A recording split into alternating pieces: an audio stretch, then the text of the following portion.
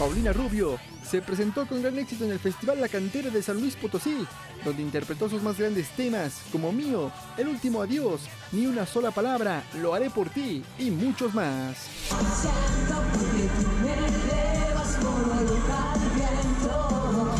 La chica dorada siguió causando expectación, pues continúa con el vientre abultado y los movimientos a la hora de cantar son más lentos y cautelosos.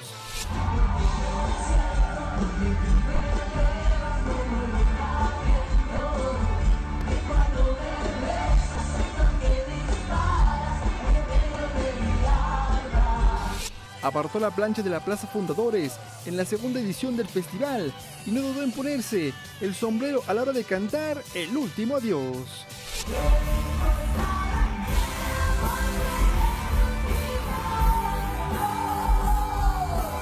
Y como ya es costumbre, Gerardo Basúa también la acompañó y juntos cantaron el tema Golpes en el Corazón, así como lo hicieron en Hermosillo Sonora un día antes.